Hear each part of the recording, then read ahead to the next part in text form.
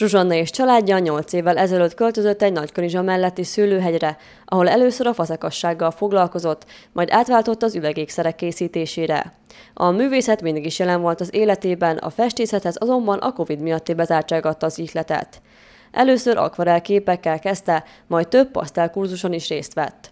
Inspirációként az életet és az érzéseket veszi, ebből kifolyólag számos témában születnek képei. Tavaly ősszel ellátogattunk a Kendli Majorba a Ciglár Német Ferenc festőművész pasztel kurzusára, és ott is ragadtam egy napra, és akkor beleszerettem a pasztelfestészetbe, úgyhogy a kiállításnak, anyagának is a nagy részét pasztelfestményeim adják, viszont emellett vannak akvareljeim, és nagyon-nagyon érdekelt az absztrakt festészet is, ezért aztán idén januárban szintén a Kendli Majorban részt vettem a Ludwig Zoltán absztrakt festőkurzusán, amelyből szintén ugye vannak alkotások, illetve aztán nyáron Saródon, a Sarodi Művésztelepen, a Terdik Szilvia absztrakt festőkurzusán is igyekeztem képezni magamat.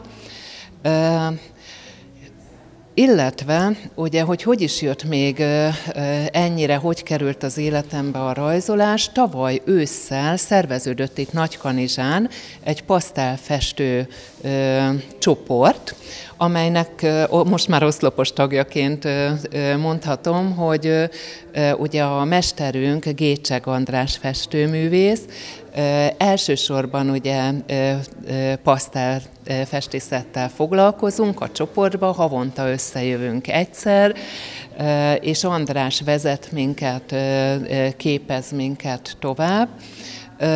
Tehát tulajdonképpen idén tavasszal ennek a festőkörnek ugyanitt a Megyasszai házadott otthont, és itt volt egy közös kiállításunk, és aztán ebből alakult most ez a számomra első náló festménykiállítás.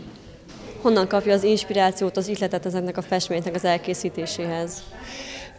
Hát tulajdonképpen nagyon sokrétű a témaválasztásom, de mindig azt tartom szem előtt, hogy valamiféle érzést, emberi érzést, értékeket közvetítsek, illetve nagyon-nagyon imádom a színeket, ez látszik is szerintem, hogy nagyon színes minden festményem, és a fények megjelenését a környezetünkben. Tehát tulajdonképpen az inspiráció az innen, innen jön.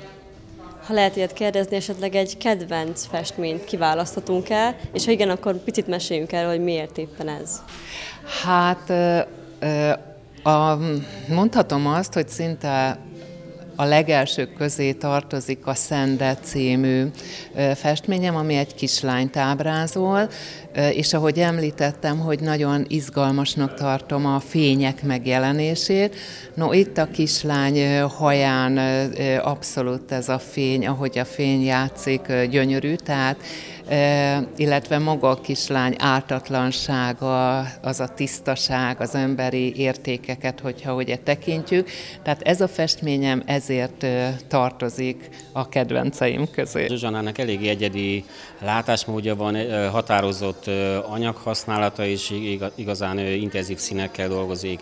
Az elejétől fogva, hogy figyeltem őt az alkotások során, picit mindig a saját maga útján dolgozta fel a képeket, és ezért elég egyedi és látványos a kiállítás.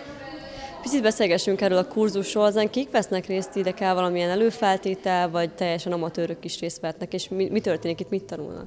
Gyakorlatilag én a, én a pasztel technikát oktatom, és az ország már több helyre úgy, úgy megkerestek, és egy, egy pár év ezzel indult igazából. Csak a pasztel technika az, amit oktatok egyelőre.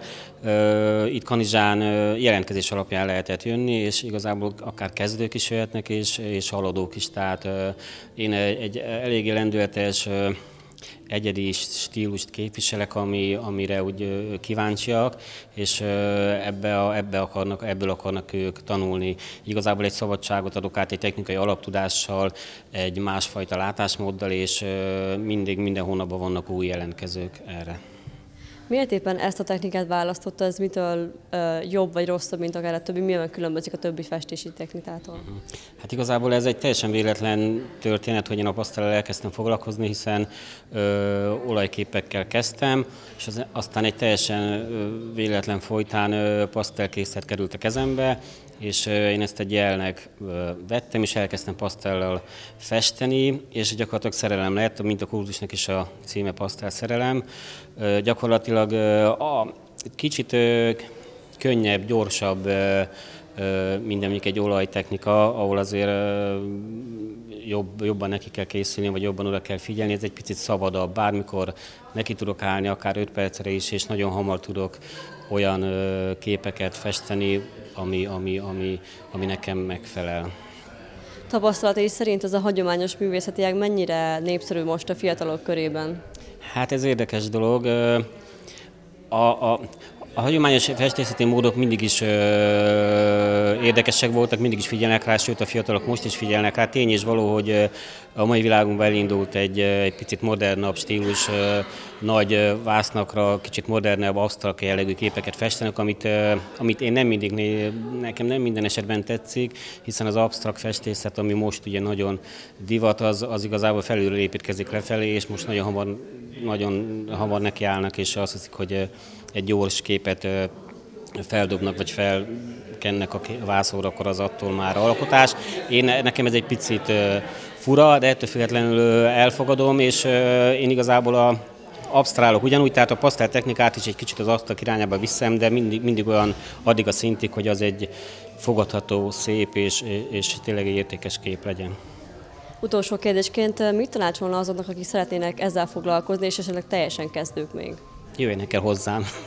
és akkor eh, gyakorlatilag én mindent, ez, hát igen, a pasztel ugyanolyan, gyakorlatilag már Leonardo da Vinci is foglalkozott pasztellal, vagy akar, aki ismerünk esetleg Dögát, aki a balerinás képekről biztos, hogy mindenki ismeri. A pasztel ugyanazt a ugyanazt a, a, a technikát, vagy ugyanazt a stílus, mint az olajjal, vagy az akril, vagy az akvarellel, én vissza tudom adni pasztellal is, akár vastagságába, akár lendületébe, akár finomságába. Tehát egy nagyon összetett technika, és kevesen tudják ezt, hogy, hogy mit lehet ezzel a pasztellel kihozni.